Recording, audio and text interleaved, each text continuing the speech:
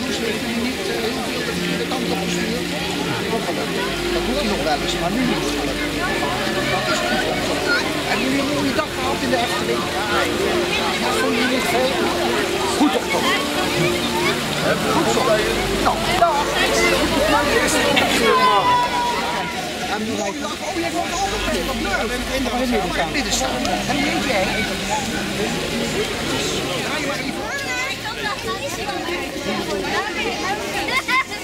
uh,